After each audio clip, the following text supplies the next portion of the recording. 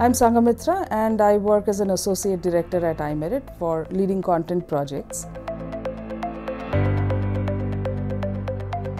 We are basically solving customers' uh, uh, you know AI classification problems, and uh, we work with uh, training data sets uh, to you know actually launch the model, validating the data sets uh, to validate the you know the model, the function of the model. We are working on a lot of edge cases uh, and we highlight that to the customer. These are very important for the AI product or the tool to perform uh, well. These uh, projects, they actually help the customer in, in, say for example, for an e-commerce use case, it could definitely help the customer enhance their search engine mechanisms.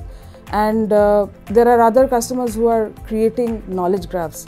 So our, our these are the you know complex uh, problems that come up and we um, enhance the customer technologies uh, using these uh, mechanisms the you know the classification problems that we solve the data sets that we curate uh, for our customers